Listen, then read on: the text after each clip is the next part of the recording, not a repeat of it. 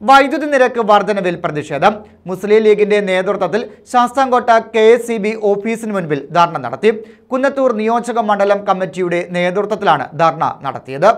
വൈദ്യുതി നിരക്ക് വർധനവ് പിൻവലിക്കണമെന്നാവശ്യപ്പെട്ടാണ് മുസ്ലിം ലീഗിന്റെ നേതൃത്വത്തിൽ Sasthamcotta K S C B ഓഫീസിന് മുന്നിൽ ധർണ നടത്തിയത്. മുസ്ലിം ലീഗ് കുന്നത്തൂർ നിയോജക മണ്ഡലം കമ്മിറ്റിയുടെ നേതൃത്വത്തിലായിരുന്നു ധർണ. ലീഗ് സംസ്ഥാന സെക്രട്ടേറിയറ്റ് അംഗം ശ്യാം സുന്ദർ ഉദ്ഘാടനം നിർവഹിച്ചു. എല്ലാ സർക്കാർ ഓഫീസുകളുടെയും മുന്നിൽ കണക്കെഴുത്തുകാരൻ ചിത്രഗുപ്തനെ സ്ഥാപിച്ച സർക്കാരായി ഈ രണ്ടാം ഇടതുപക്ഷ ഗവൺമെന്റ് മാറി ഞങ്ങൾ ഇതിനെ കേരളത്തിൽ അതിശക്തമായി നേരിടാൻ തീരുമാനിച്ചിരിക്കുന്നു. ഈ ഗവൺമെന്റ് സ്വീകരിക്കുന്ന ഈ ജനവിരുദ്ധമായ നയം തിരുത്തുന്നതുവരെ അതിശക്തമായ പ്രക്ഷോഭത്തിന്റെ പാതയിൽ ഈ നാടിനകത്തെ പാവപ്പെട്ടവർക്ക് വേണ്ടി ഇന്ത്യൻ യൂണിയൻ മുസ്ലിം ലീഗ് നിലനിൽക്കുമെന്ന പ്രഖ്യാപനമാണ് കേരളത്തിൽ ഇന്നലെയും ഇന്നുമായി ഞങ്ങൾ നടത്തിക്കൊണ്ടിരിക്കുന്നത്. ഞങ്ങൾ ആരുടെയും മുന്നിൽ മുട്ടുമടക്കാൻ തയ്യാറ് ജനകീയമായി തെരഞ്ഞെടുത്ത ഈ ഗവൺമെന്റിനെ അട്ടിമറിക്കാനും ഞങ്ങളില്ല. പക്ഷേ മാന്യമായി ഭരിക്കാൻ ഗവൺമെന്റ് തയ്യാറാണ് നൽകേണ്ട ജനകീയ ജനകീയമായി കൊടുക്കേണ്ട തയ്യാറാണ് ആയിക്കുന്നം അബ്ദുൾ അസീസ് അധ്യക്ഷത വഹിച്ചു. പോരുവഴി ഹുസൈൻ